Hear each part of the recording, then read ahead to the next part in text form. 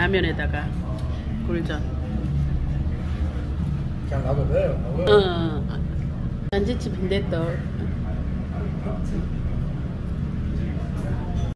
잔치집 빈대떡에서 빈대떡은 아까 먹어버리고 굴전 굴전을 굴전을 먹.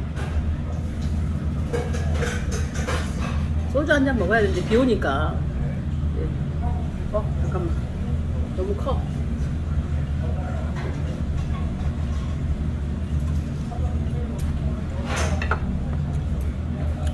굴전에다가 소주를 먹어야 되는데.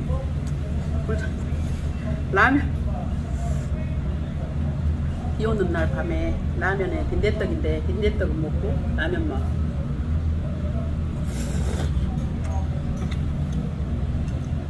또 굴전도 먹어.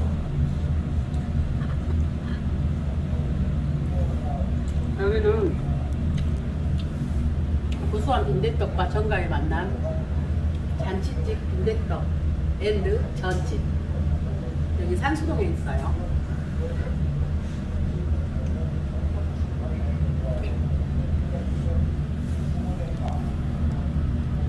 이걸 하나를 다 먹기는 너무 커.